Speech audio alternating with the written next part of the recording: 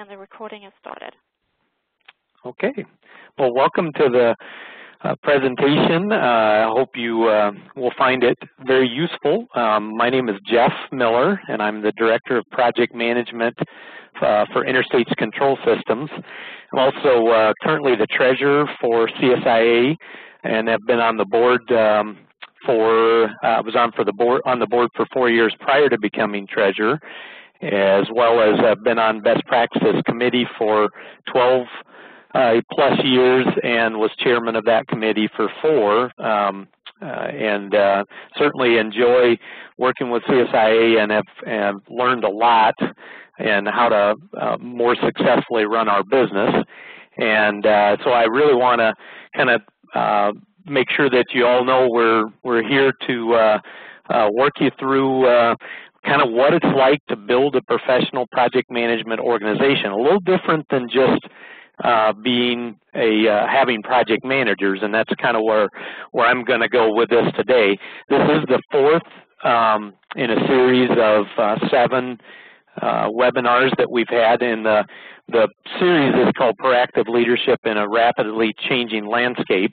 And I, I know many of you have probably joined uh, on several of the other webinars. Um, I'm going to uh, also have a presentation at the annual conference, and I think pretty much all of the webinar uh, presenters are going to do that as well. So this is kind of a lead-in to, um, to our uh, annual conference this coming year. So um, just to kind of give you a little history of the, this is the series that we've been working through. Uh, the first three um, the first one was the holistic overview of proactive management. I'm going to pull up one of the slides that Nick Setchell uh, used in his presentations in just a minute, and I'm I'm going to feed into some of the information that he provided us then. Um, organizational culture, methods for improving performance, the 24-month rolling plans, which was last month. Ours is the uh, professional project management team for systems integration, and then there's three other webinars that will be coming uh, hiring, leading, coaching, and evaluating, talking about your people, um, and then performance management for technical professionals, and then this J-curve uh, management. And um, J-curve management was one of the topics that Nick, Nick had at our annual conference last year, and I'm looking forward to hearing some more about that again.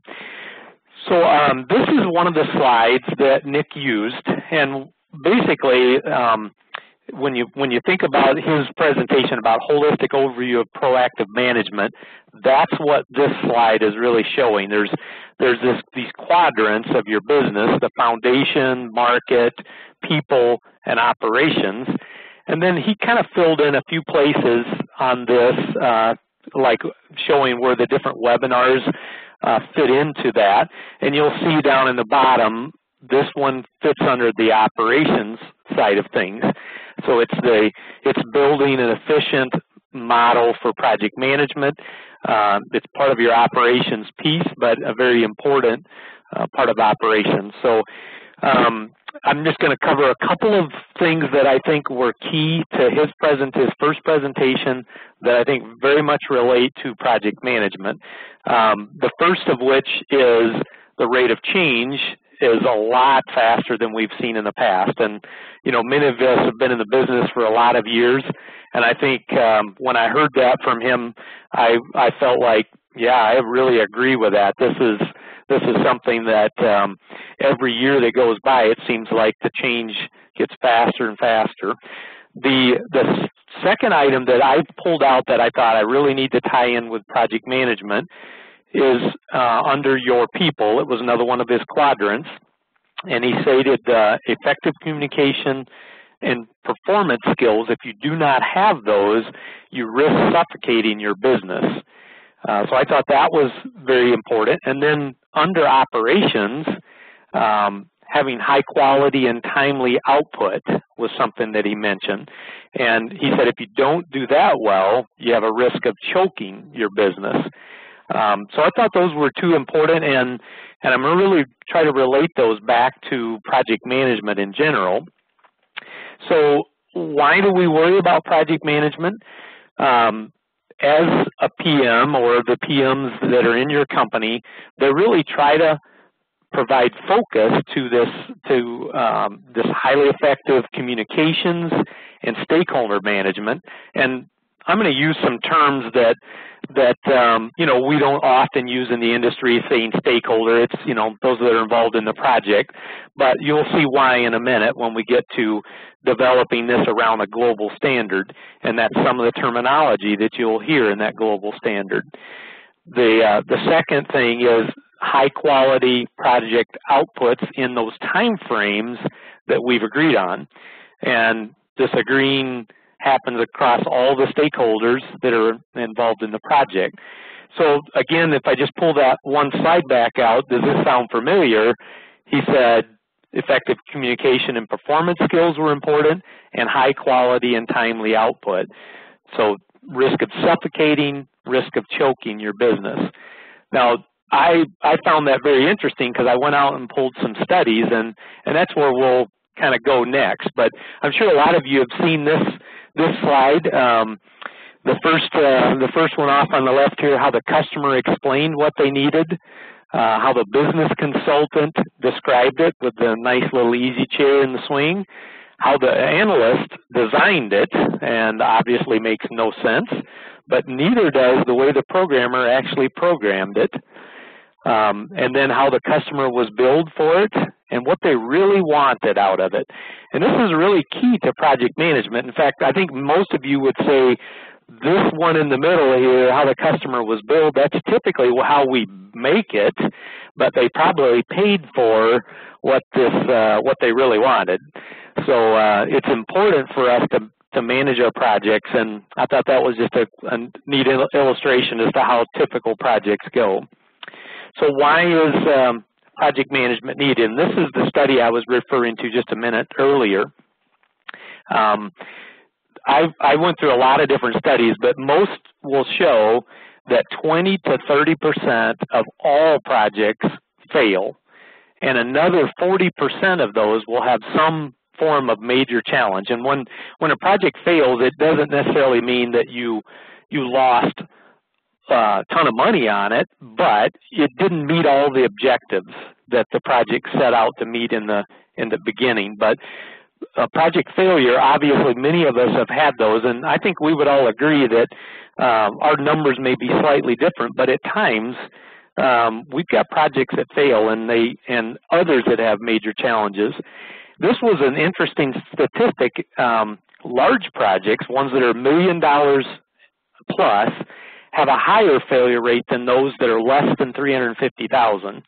Um, and I actually went back and looked at um, at our list and to try to determine, you know, how many projects that we have, because we used to say, well, the big projects, those are the ones that we always do well on, and we've got a lot of room for recovery. But one of the things that I found was a lot of those larger projects were ones that if they hit the, we call it the killer job list, um, if they hit that list, they certainly kill your net income at the end of the year a lot faster than the others. But they would say as many as 40% of those that are larger like this in the IT realm, and that's where I kind of got most of this information, um, more than 40% or at 40 will fail. And also in large IT projects, 17% of them threaten the survival of the business. Um, so obviously that's something we need to pay attention to. If it's going to, if a project is going to kill our business, uh, we need to manage it well. Um, another thing that was related to IT projects in the U.S. only, 50 billion to 150 billion dollars is lost annually to projects that fail to meet their objectives. So if you're really going to want to grow your business, you've got to get your PM processes under control. And that's kind of where, where I'll be going with this uh, webinar today. How do you build around your PM processes with a professional project management team? So obviously these aren't going to be anything new to you. These are key functions that a project manager performs. They're communications managers, they're scope managers, they're risk managers, um, they're quality managers, and resource managers. And I threw in the, the term psychologist in there. And actually I got that from uh, Nick Setchell as well. And how many times do we wind up being the psychologist on uh, with our team members when things aren't going so well? Um, you know, we have to be sometimes the cheerleader on the project, um, and we're the ones that are making sure that the the train stays on the track. And I, I think those are certainly key functions. Obviously, there's other things, but that a project manager does. But I thought these are the ones that that I tend to focus on the most as a project manager. So uh, then I, you know, I need to talk a little bit about uh, what does it mean to, be, to have a professional project management organization. And um, to, to do that, um, you build it around a global standard. And um, I I found this to be I, at first I thought it was going to be really tough to do because the global standard um, doesn't seem to always apply to the things that we do. But I'm going to show you a little bit on in a few minutes here how to apply uh, a global standard to your PM processes and and make it make sense. Um, you're going to have to push your PM skill set to a different level. It's not, um, and I think I actually, you know, it's it's my project management work is my main job, not just extra responsibilities. And I know many of us, as our businesses, the smaller we are and the newer we are in building our businesses, you know, our engineers are our PMs, and they're they're the ones that are trying to take on that role. And and I know many of you will agree with me that oftentimes it feels like that's just my extra work. I just got to do that in addition to getting all my engineering work. And um, one of the things that Interstates has done uh, more recently is built this project management organization that allows us to make that our main job. And um, we'll walk through a little bit of that in a bit here too. But then building a way to measure how our PMs are doing at delivering projects uh, specific to their skill sets. And um, so if you've got, if your company has a pay for performance or some form of a bonus system, really set up your PM performance measures around their skill sets uh, so that you're you're giving them the uh, the ability to uh, to be measured off of and obtain their bonuses based on how they're performing their PM skills. And I think that's very important because, you know, you get what you measure, number one. Uh, most of us would agree with that. And then this gives them some ability to know what we're going to measure them against. Um, so I'm I'm a big Dilbert fan, and I I found this one. I thought this was pretty interesting, and certainly not professional project management work. Um, you can see uh, I, I need a description of your project and its projected costs. Well, that's impossible. The project uncertainty principle says that if you if you understand a project, you won't know its cost and vice versa. You just made that up. That doesn't make it wrong, does it? So it's just interesting, you know, how some people think of project management as it's kind of voodoo. Um, and at times it feels kind of like voodoo. So uh, we are uh, we are doing things that aren't natural to us, especially those of us that are engineers and we're moving into that role. So, uh, so I'm going to talk a, a, little bit about what this global standard is, and and uh, you can see on on here I have both the CSIA best practices as well as the Project Management Institute. Um, Project Management Institute is one that is obviously it's a global standard. Um, they have what they call the Project Management Body of Knowledge, or PMBOK, as you'll hear it referred to more frequently. Um, and that's a global standard, something that, that um, project managers can be certified against. They can take a, a, certification exam to prove that they understand those. And we'll talk a little bit more about certification in just a bit. Uh, the CSIA uh, best practices, section five, which is really the whole project management section in our best practices manual, is another one of those things uh, that's a that's got global standard. And one of the reasons it is is because um, we actually built section five when we were working on revision three of uh, the best practices manual. We built it around the the PMBOK uh, model. So you'll see that there are definitely some similarities there for um, for PMBOK and the best practices section 5. Um, one of the things that if you start talking about PMBOK is Project Management Institute, or PMI as it's referred to.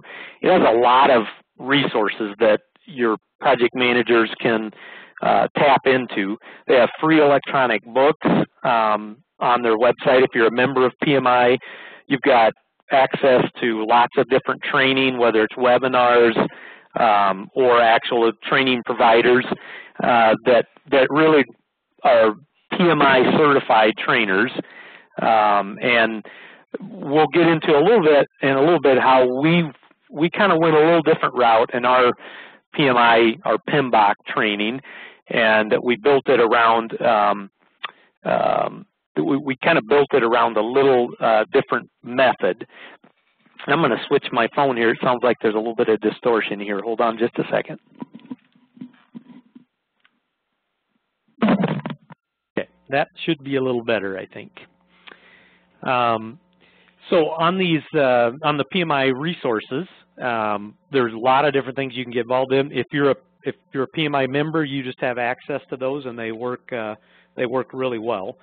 Um, the CSI best practices, as I mentioned before, are Section 5. We built it on top of uh, the PMI's PMBOK, um, and all of the audited items that are actually in Section 5 are supported by PMBOK. So you won't find uh, that there's a lot of different challenges there. If you decide to build your project management uh, methodology and those types of things on top of, uh, you know, if you try to build it on, on, on top of PMBOK, it's going to fit right into how CSI's uh, certification works for Section 5. And um, I'll just throw a plug in for the best practices as well. Certainly something that um, that we've gotten a tremendous amount of help from uh, by being involved in uh, uh, the committee itself and helping develop some of those best practices, but but yet going through the certification process and really uh, working our systems up to the level of how CSIA has built their best practices manual around, and, and that was a huge help for us. So what I'm, I'm going to kind of cover here is, you know, if you if you think about PMBOK, though, PMBOK is very theoretical. Um, so you you don't necessarily want, you know, I could I could give that training to my PMs, and it's not necessarily going to help them deliver my projects better. So Interstates decided we're going to do PMBOK style project management training, but we're going to we're going to really just take those knowledge areas, and currently there are 10 knowledge areas. When we did it, there were only nine. The uh, revision 5 actually came out with a 10th one now. Uh, but we customized that to our project delivery methodology. And so any area, scope management, for instance, we took scope management and we said, here's what PMBOK's definition of scope management is. How do we apply it at Interstates? And that's how we went through our, uh, built our training modules, and it was a huge benefit to us. And uh, we'll talk about some of those in just a, a little bit. But really, it, you can't just leave it at that theoretical level. You have to build around some type of a project application theme. One of the things that we did, we just took a kind of a standard project, um, and we decided uh, we're gonna we're gonna take each module, each of the knowledge areas, and we're it, it, during the training we're gonna take uh, this sample project, and we're gonna say, all right, how would we build the scope? Um, how would we ensure that we are developing and managing scope on this project? And, you know, again, it was very familiar information from the project side to this PM group, but yet the theory that we were bringing in was we were trying to help them understand, here's what PMBOK says you should do for scope management. Now, how would we do it in our world? And it was just a big benefit to us to do it that way.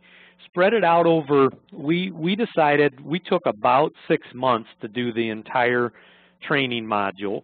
And we basically uh, were taking one to two of the knowledge areas per uh, usually two per session, and then there's some there's there's three chapters at the very beginning of PMBOK that are just really theory, and we kind of covered them in one session, and then we got into each of the knowledge areas, and that was a big help to us. Then abs absolutely the best thing that we did after we finished our training was um, once we completed it, we assembled a team to build a list of our common practices that that relate to each of the knowledge areas. And I'm actually going to show you an example of that in just a little bit here. But um, the, the goal was, you know, we need a way to know, uh, you know, how does that relate to us? So, so we looked at these, these uh, 10, actually 10 knowledge areas now, and you can see they start with, they're very familiar things that you're, you know your project managers need to be involved in. Integration management is probably the one that's kind of more uh, it's a term that we don't hear very frequently, but it's it's really more building your overall project plan and keeping it integrated together well. Scope management, time management, cost management, quality, human resources, communications, risk, uh, procurement, which was it, you know for a standard project, um, in an automation world, I didn't think much about procurement, but once we got into the procurement management module, yeah, we we sometimes procure subcontractors. We we uh, procure a lot of material for our job, so it made sense for that to be part of our methodology, and and think about it from that. And then the last one that's brand new that we haven't actually incorporated into our training module yet is called stakeholder management. It's a brand new module. I still need to get in there and, and uh, dig around in it a bit and see how it might relate to us. But it's really, a, it relates to a lot of the others like communications management, but ultimately I think it'll be a, a nice one to add. We're, we're building our uh, training. We usually do that about every three years. We have enough new people at that point that we redo our PMBOK training, and uh, next year will probably be our 2014 will be our next uh, training session. So here's some benefits that we got out of using this PMBOK style training. Number one, we definitely built a common project management terminology across lots of teams, many different PMs. We did this with our construction group, uh, with our instrumentation group, with our controls, and our engineering group. So we had all of our different kinds of PMs together. We now all use the same terminology, and I, that was a huge benefit to us. Um, we developed kind of uh, what we, we actually call it PM Excellence, but we built, built our standards related to PMBOK, um, and we said PM Excellence is how we're going to use that, and we basically, I'll actually give you an example of that in a second, but our, our goal was take these knowledge areas decide what they mean to each one of us, and develop a list of minimum expectations for every one of those knowledge areas that every one of our PMs is going to, to use. And, and uh, you know, one of the things that our clients were saying, you know, it, it really, we've got now, um, between all of our interstates companies, I think we have 13 uh, PMPs, project management professionals, that have taken the exam. And every year we get several more. Um, and that's been a big benefit as we've met with our clients. Uh, they definitely see that our project managers are very serious about managing projects and uh, and that it is their job uh, and that's what they do that's what they do for a living now. Um, so I've mentioned the term PM excellence a couple of times, uh, so I'm going to kind of explain what we did with that. Um, we defined every one of the PMBOK knowledge areas, and we said this is what it means to us as a company. And even though there were there are four business units inside our company, and we all think of scope management slightly different maybe, uh, we might have different tactics as to how we define scope, but each of us has a theme around what we want scope management to mean. And I'll actually, I will use that as an example in just a second to show you how we did that. But we defined every one of those knowledge areas and what they meant to us. We defined what the outcomes would look like. Um, so what do we really want out of scope management? What, what's ultimately the goal with that? So the outcome is really what we're after, but then we also defined kind of a minimum expectations of activities that needed to be performed in each of those levels or areas, which we said would then, our assumption would be that if we do these activities, we will get the outcome that we're looking for. But yet, part of that is we need to audit. So we built a kind of a little bit of an audit system, each of those areas that we're, that we're building into our systems. Once a quarter uh, gets a random audit, and, um, and basically once they pass certain percent complete, they get a, say at 30% complete, they get randomly audited. We pick certain projects and we say, all right, show us how you're doing scope management. What are you doing? And we have very specific questions that we ask, and they're yes, no, very concrete answers, again, related to activities, and our assumption is those activities will get us the performance that we're looking for. So, but one of the things that we need to do is reevaluate if the activities are actually helping us attain those desired outcomes. So from the audit results, we can tell, are they following the activities that we said they needed to do? If they are, and we're not obtaining the outcomes we need, we need to modify our activities. So this has been a big process for us. We've had, uh, most of these have been in, in place now for upwards of um, uh, a year to some of them just a year, some of them a year and a half. But uh, we continue to, uh, like this new module that came out on stakeholder management, we'll have to build some activities around that once we've determined how we want to apply it. Uh, but this is an actual example of of how we determined, um, you know, how we built this this around how we're gonna how we're gonna develop project scope management. So you can see at the top of this, we took the definitions right out of PMBOK.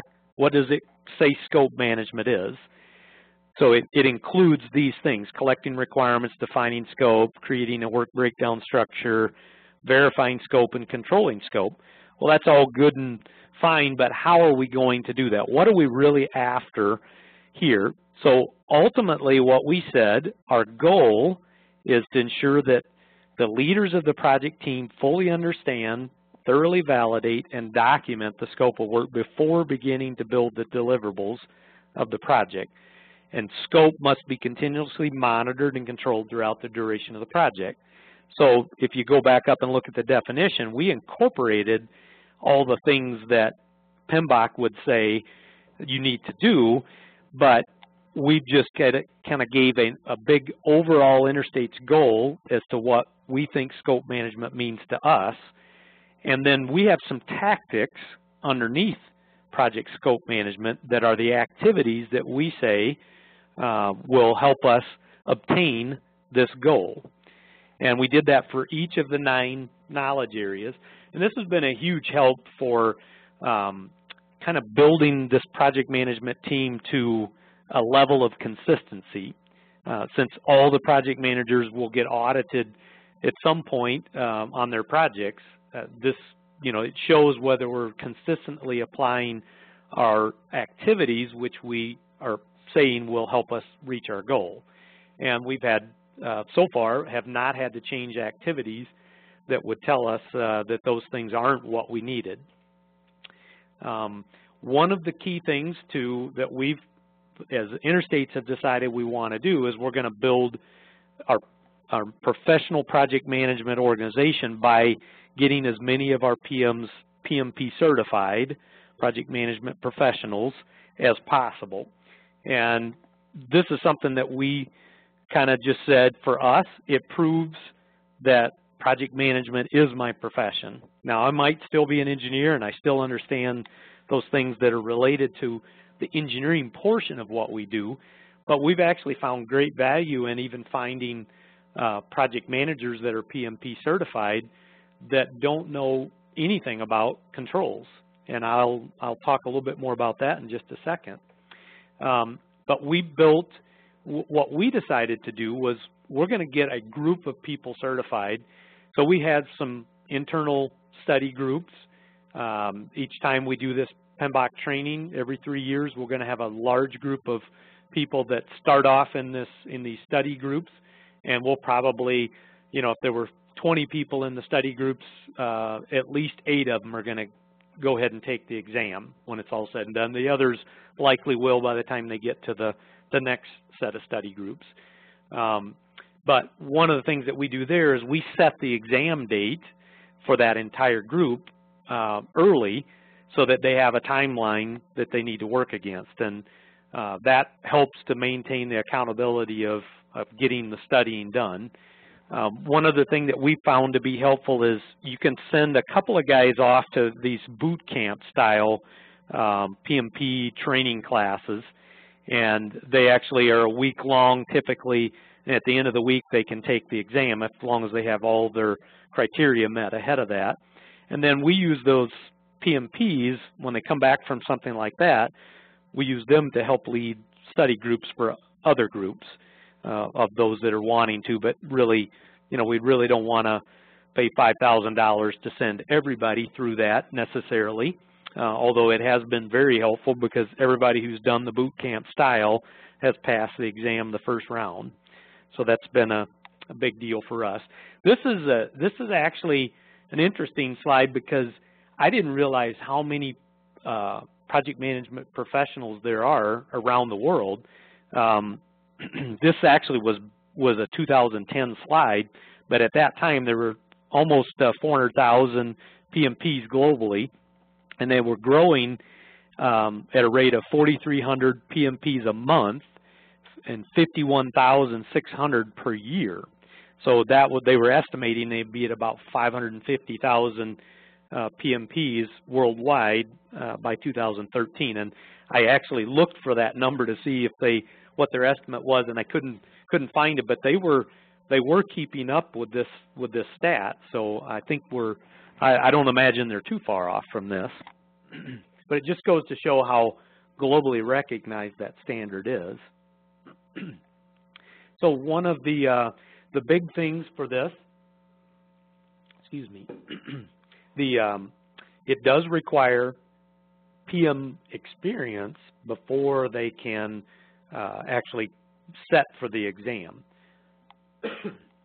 so if you have a two-year degree, you need five years of experience uh, doing project management type work or 7,500 hours, man hours of PM experience. So the five years is what they say it takes typically for a PM to get 7,500 hours of uh, PM experience. And that is documented hours. You have to actually fill out a form uh, for every one of the man hours that you're going to put in. And it could be a project that had, you know, a thousand uh, project management type man hours in it, but you have to have enough projects over that five years that you can document this 7,500 hours. If you've got a four-year degree, it's three years of experience, 4,500 hours of PM experience. And they do have to have at least 35 hours of formal PM education. And what Interstates actually did here, um, we we actually put uh, this as a a uh, we had um, this PMBOK class that we put on. We sent the information off to PMI and got it certified so that we could count it as this 35 hours of education. It doesn't take too much to get it certified. If it follows PMBOK format, you're very likely um, going to be able to um, uh, to get that to work. So um, we we didn't have any difficulty on our side. And then uh, the the PMI membership is, you know, if you join PMI, then you get access to all of these things, and you have to be a member the year that you test. Is you don't necessarily have to maintain the membership, but I would encourage doing it because we gain uh, a lot of those resources that PMI has have been very helpful for us as we uh, we really like to get better at risk management. Let's go look and see what what um, resources PMI has got for that.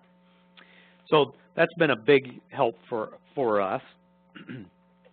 um, one of the things that we actually did for our control systems group here is is um, I went outside the group and um, you know, I took I kind of put my neck out on the on the chopping block and said I'm going to go out and hire a project management professional um, PM, and I was looking for a software PM, uh, someone who had been in the software industry and developed, you know, been around that, but not an engineer, not a programmer per se, but someone who was had been delivering for for several years.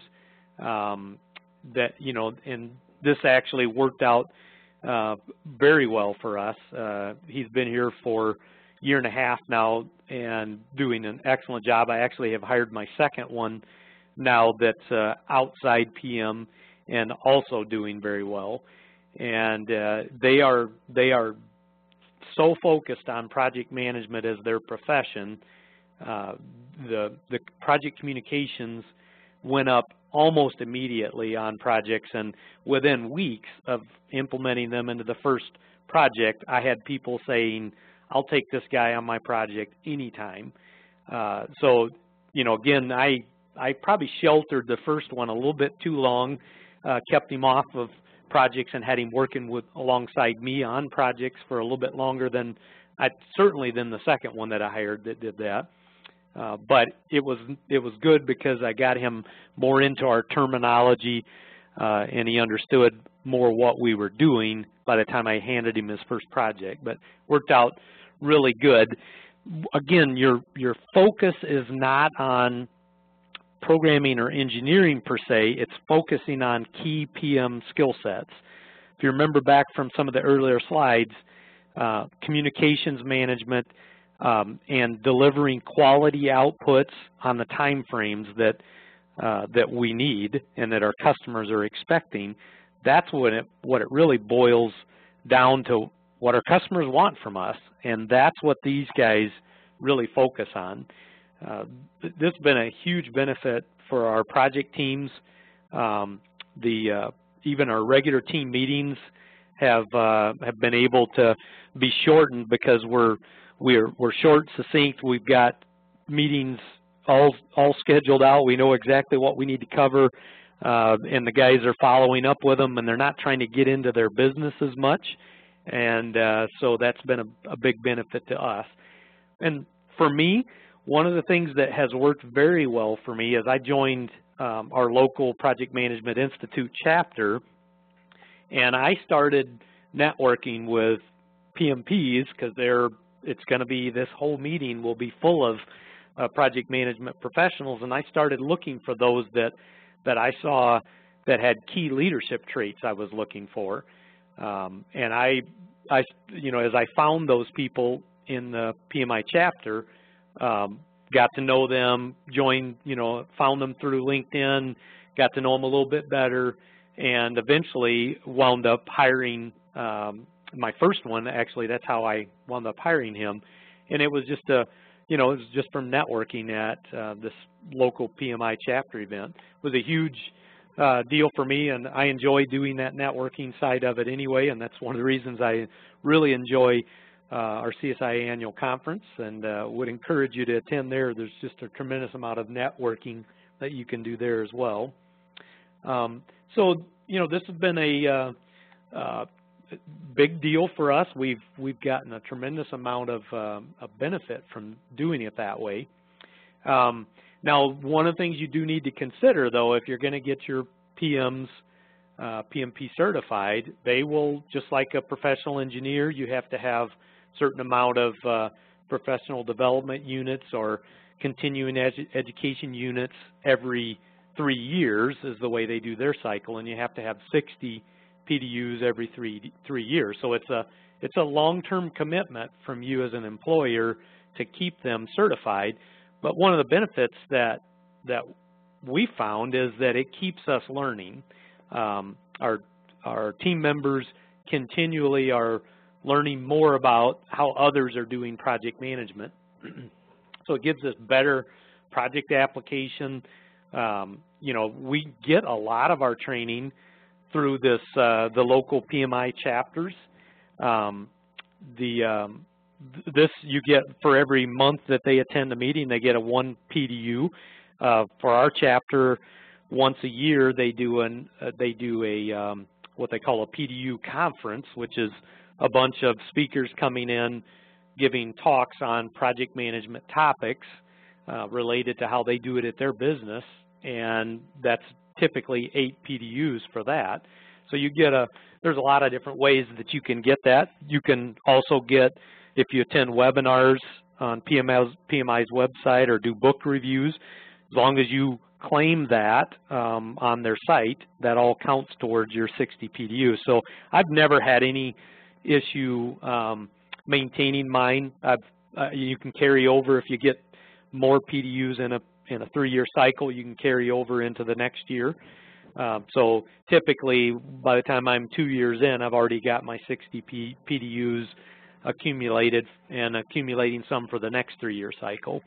So it's typically not very hard. And again, one of the best benefits that that I have found is that it's we're keeping our project management team well trained. It's not just the way Interstates does it. We're hearing how other com companies are doing things, and we're being able to take those and apply those things into our organization. Um, so I've got a, a, couple of things I wanted to I wanted to kind of make sure we have plenty of time to ask some questions with this. Um, so I'm going to go ahead and open the floor up to um, any kind of questions we've got, and I'll have some wrap-up things that I wouldn't mind covering as well. But let's open up for some questions here, see if anybody's got anything that they would uh, like for me to try to cover.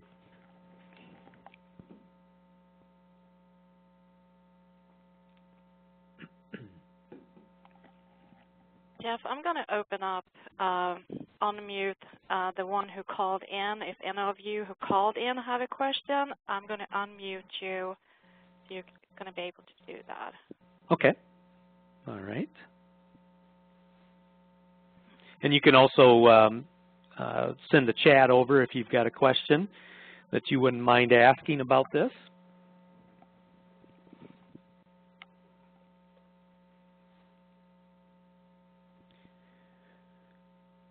All right. I, one of the things that um, I'll kind of go back to just a, for a for a second here. Uh, this I know is a big deal for a lot of lot of our um, people out there, um, and and so you know there is a there's a big uh, um, I, even with our engineers. This this happened to be one of those things that again I had to really sell to our team. And uh, I'm actually, I'm going to come back to this in just a second. I did get a question that came in. Um, came in. One of the questions was, how do you incentivize or bonus your PMs? Um, so again, as I started out earlier, we built these modules around uh, PM excellence. Uh, so all of our PMs are are audited at least four times a year. Uh, typically, they wind up um, four to six times a year they'll have an audit on um, multiples of their projects. And during those audits, where we score the PM on how well they're following the activities that we said these are the minimum level of activities. And one portion of their, we call it pay for performance bonus, is based on how well they followed that. So if they if they're hitting an 80% mark, they might get 80% um, of that, you know, we, we would likely say, you know, 20% of your um, of your bonus is based on this. And customer satisfaction is another big thing that we base a project manager's uh, bonus on. We have um, another one that we work off of is is related to what we call the quality metrics um, from a post-job review. And we do anything that's got more than uh, $30,000 in in labor man hours, uh, we will we throw that in as a um, you know you're gonna you're gonna have to have a post job review on this, and every one of the PMs then is rated on how well they followed procedure and how how they helped the teams uh, benefit. So we thought that was you know very uh, easy way for us to have some metrics associated with um, with that. Um, another question that came in, um, how do you scale PM expectations with project size to uh, minimize the overhead project cost? so that's a that's a good point too. We actually we have a group of what we call large project PMs, and they're the ones that are my PMPs, um, and they're going to manage projects from. And we've just kind of uh, randomly said right now, anything over 50,000 in labor revenue um, to whatever, whatever the max is, we're going to manage those. Anything under 50,000, we kind of we have division managers that manage their own projects. They have their own project teams, um, and they're responsible for developing their own project teams. But we did say early on we're going to have these smaller projects that we're going to have kind of a light methodology for, and those are being managed by these um, either project management assistant or these division managers. So I felt that was a that that really has helped us um, as well.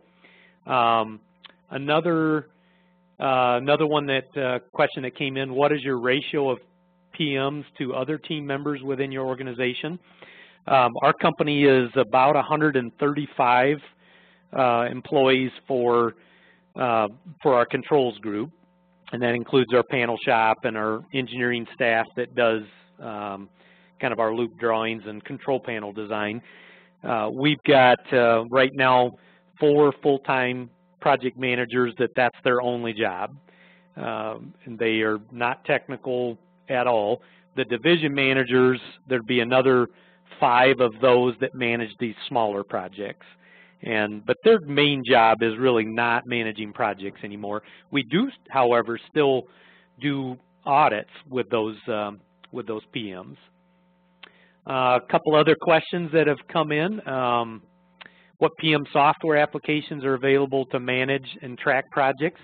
This has been a big deal for us. Uh, we use, um, we've got a, a, an in-house developed kind of SharePoint-based, uh, we call it PM Toolbox, but it uses basically SharePoint as the place that we track all of our RFIs and our risk and um, communications to the client and um, all of those types of things.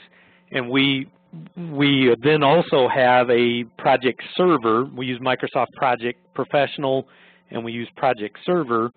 and that's how we track our status on our project. And we actually have our resources do their timesheets directly in Project Server so they charge their actual work right to the project. But really the biggest piece is this, what we call PM Toolbox, which you can, Project Server actually builds a SharePoint site for each project that has, um, you know, a risk register, um, an RFI. Uh, doesn't have RFI out of the box. You can create an RFI module. What we've done is we've kind of built one that really focuses on, um, you know, the the tools that we want them to use. And so we built lists and uh, libraries inside there that relate to our project delivery methodology. It's been a huge help to us. Again, gives you one spot that you can go find all of your, um, all of your, I guess, um, uh, forms and tools and everything that's related, and it's all under document control because it's in SharePoint. So that's the other big advantage to that. Uh, another question was, uh, what would be a typical team size uh, when where we consider putting a project manager on those. And our teams are uh, the, the 50,000 to above projects would normally have like one PLC programmer, one HMI, um, that would be the minimum size, and then an engineer and a drafter from our from our technical services team, and then our panel shop team. Uh, so you're going to have a minimum of five people on a team to probably 10 or 12 uh, on a on a very large project. So they, um, you know, we do have a few that might only have one or two people on those, but typically those would be managed by uh, that other group, um, by our what we call division managers that are doing the small projects. Um, another question came in on the agile methodology. What do you think about agile methodologies for system integration companies? This is actually something that we're looking at right now. Um, we've done, uh, we've got a group of our programmers is more of what I would call high-level language type programmers. They they write in C sharp and in C and uh, VB, and we're really looking deep at that agile methodology for that group. Uh, we've not attempted it on any standard automation project uh, per se yet. We've taken a few of those um, tools and applied them to, to what we've kind of felt like our, um, you know, we could use in a, in a delivery methodology. But ultimately, you're going to want to, you know, what we've done is we've kind of adopted, and I, I think I showed it in uh, one of the slides back here, and out of right out of uh, CSIA's best practices, is that V-type methodology or the system development lifecycle, where on the left-hand side of the V, you've got your requirements development, your design, your building of the system is way down here, and then the traceability to the actual factory acceptance test and site acceptance test all over here. So you're testing all on this side. And that's been a big help uh, to us for our for our delivery methodology. But um, certainly Agile, some of the cool things about it is you do see some deliverables a little sooner. Uh, what we've forced our project managers to do is in our in our time management portion of this of of what we do, we've said you need to manage your task down to an 80-hour level. So your schedule will not have any task on it that are larger than 80 hours, and that's been uh, that's helped us in our both understanding projects better and working with the team to break it down into smaller chunks of time, and then being able to, to deliver to that time frame that we need by now in the you know in PMBOK world they call that the work breakdown structure. Um, so really breaking down your work to a level that is that is manageable. Not if I have a 300 hour task, how do I know when I'm getting close to done with that? So if I break it down to less 80 or less, I can see it's two weeks worth of work. I can I should be able to get that done in two weeks. That's been a big uh, big help for us. A um, couple other questions that have that have come in. Uh, do engineers make good PMs in general? Um, well, I I'll have to uh, myself. I'm an engineer. Um, I haven't done engineering for a really long time now, but uh, the key issue that we ran into with most of our, and I'm just going to call it technical resources, doing project management was that their natural instincts are to jump into the technical, and I would I call it getting into the weeds. They get too buried into the weeds to be able to um, to manage the project well. And when they do that, and they will we assign them, you know, they'll have three, four, five projects going at the same time. When we when they dig into the weeds too much, what happens is it winds up they get stuck on one project and the, all their other projects go to the wayside. So my my opinion is yes, they can be good project managers. They have to be trained to be good project managers. They're not natural at being, not all of us are natural. Some of us just, you know, that's the way where we're kind of wired, but um, but that's been, uh, my experience has been, yeah, they can be trained to be good at good project managers, but their natural tendencies will tend to lead them towards jumping in and, and helping the programmers or helping the engineering staff. And that's not what you want your project managers uh, to do. Um, okay, so uh, another question came in on allocation of resources. Um, what, what software package do we use for that, and uh, is it easy to change and manage? Our, our um, tool is Microsoft Project Server, and it has uh, enterprise resources built into it. So every one of our technical staff is, is in that resource tool, and uh, we're using that then to uh, to allocate resources to projects. And you can run a report right out of Project Server that tells me, you know, this guy's over-allocated, he's under-allocated, what projects he's associated with, and we manage that on a weekly basis. Every week when we update the schedules, we're looking at that all all allocation of resources, and we tend to look at this week plus two. Uh, we'll, when we set up our original schedule, we'll try to level the resources throughout the entire project, but as the project moves, you're going to have to re-level. So that's a, one of the things that we wind up uh, running into. But we found Project Server to be a, a huge help in that environment. It's not a cheap tool to get into, but uh, once you've learned to do it, uh, it's, a, it's really been uh, a great help to us. Uh, a couple other questions that have come in. Um, uh, so the difference between the V methodology and the waterfall methodology, um, really it's just that the way you look at it, all of the, the waterfall methodology still has all of the same tasks in it. What I really like about the V model is that it shows that you have traceability between your requirements development and your kind of scope development on the left-hand side to your testing on the right-hand side. So when you build your test plans, you're you're having to prove that you met the requirements. So it's it's really just a different way of looking at the waterfall methodology. It's it has basically the same steps in that. Um, one of the another question that came in: Do you do you utilize a full PM on T&M projects or service contracts? And that's that's a great question. We we don't for service contracts. We have a manager, our support um, kind of our service manager uh, is really listed as the PM uh, for those projects, but we do a minimal amount of of PM style, style training for that. Uh, they would be more like these small project PMs. And our T&M projects, if they're large enough, we will put uh, one of our project managers on it, uh, one of our large project PMs. They still will will manage those. Okay, so um, uh, this is a great question too. Uh, what's the typical percentage of project time allocated or budgeted to PM duties uh, as a percent of overall, yeah, overall project time versus project kind of project revenue too. We would um, ultimately tend to probably 12 percent of of your project.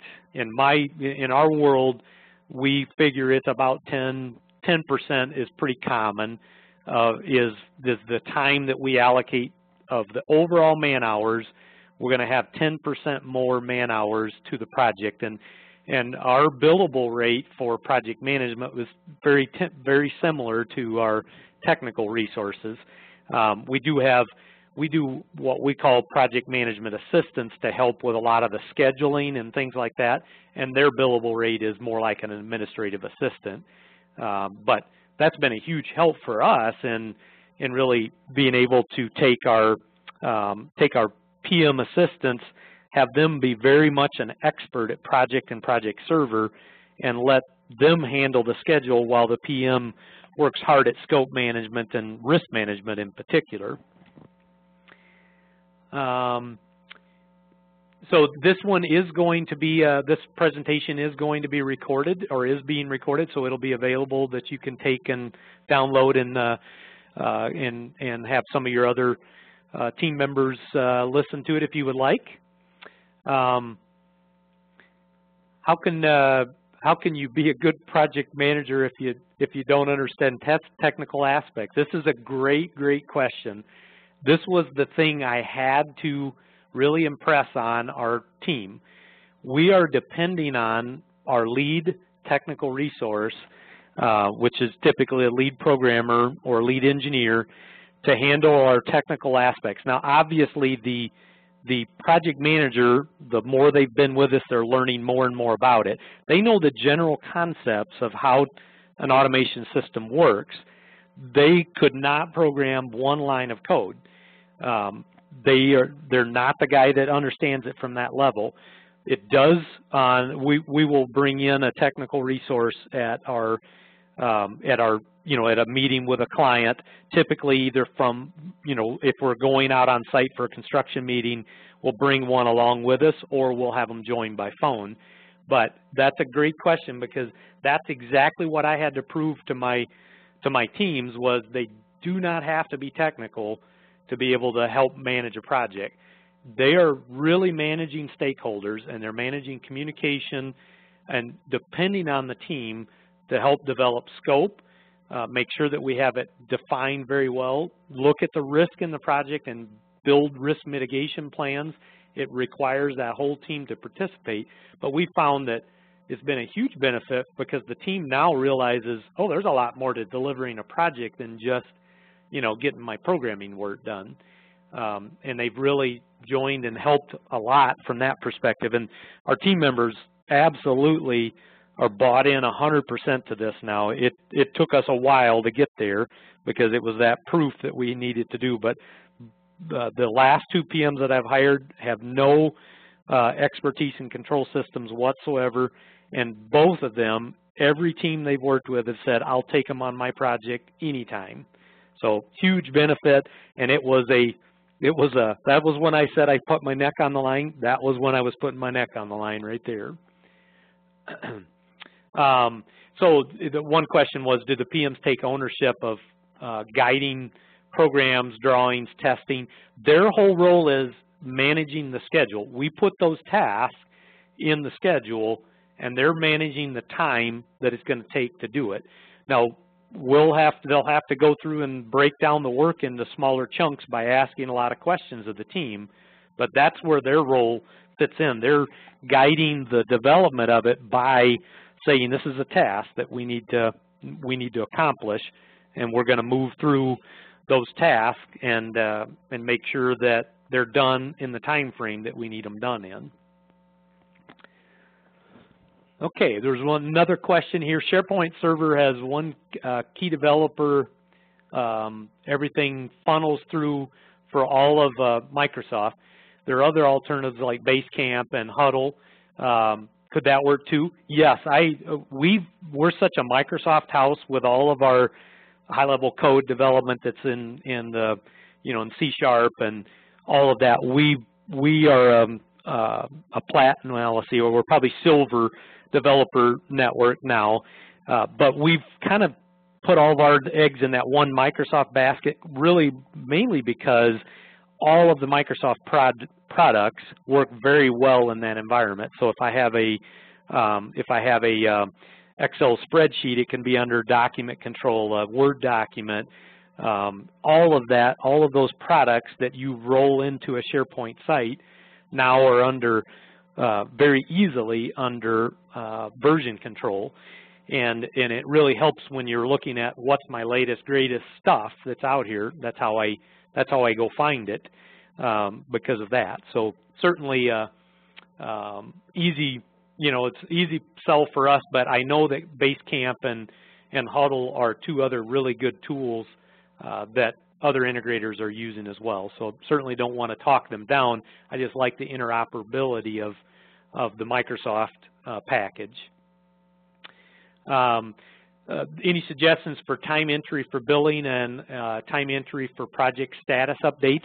This is actually something that we, I was not going to make my engineers enter their time in two different places. So we built uh, an export utility that grabs the data right out of Project Server for all my project time, and it puts it into a, we actually have a SharePoint timesheet that, that it pulls it into, and then they put their overhead time in that SharePoint timesheet, but they don't have to enter their billable time anywhere but Project Server.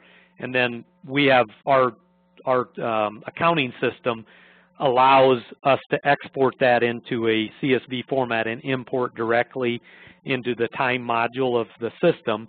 So it really helps us from that standpoint. We never have to re-enter anything manually. Uh, so if they put their time in in uh, Project Server, automatically gets pulled up to the others. Um, I, I, think we're, I'm not sure, um, Monica, if we're uh, out of time or if we have time for a few more questions here. I think we have time for a couple of few more. Okay. Fine. I'm, I've certainly marked it off on my calendar in case there were some, so I'm certainly willing to stick around a little longer here. Um, yeah, and, and you know the gentleman that asked about the billing, the time and billing entry, that is a huge deal for for the team members. If they got to enter it in two different places, nobody likes it, and um, we just used our high-level language team to build this.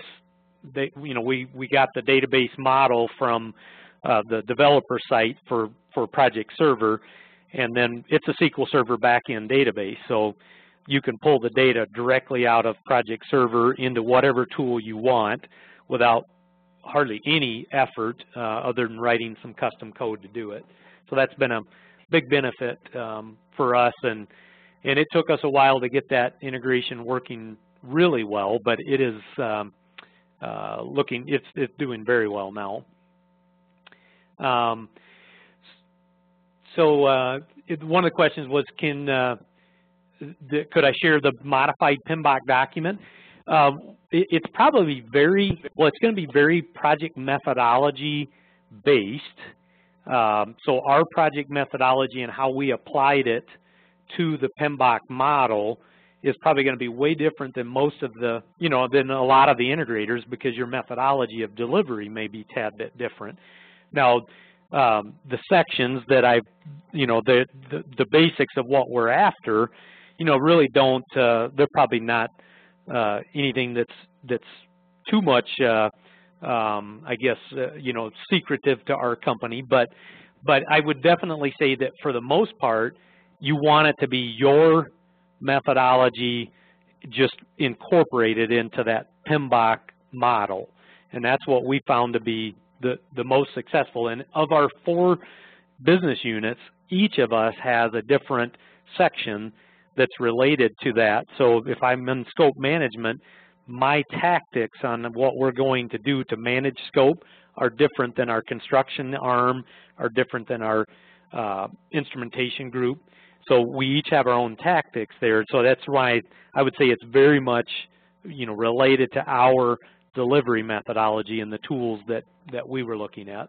So I'm not sure that it would make um, too much sense to, to start with somebody else there, but, um, but it is certainly, uh, uh, it, it was a bit of a challenge to get it put together in the first place, but it's absolutely the the one thing that our project management team of all of our companies has rallied around, and we have found a tremendous benefit from uh, having this common terminology. We have projects that we run together as a team that all of our business units are on the same project, and now that we have the same terminology, we all think of it in the same methodology as well. So it's been a huge help for us. All right, let me see if there's any other questions that I missed here.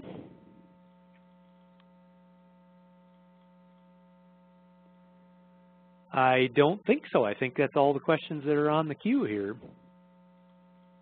I really appreciate you uh, giving me the opportunity to uh, to present today. It's uh, something I've got a great passion for in project management, and I am.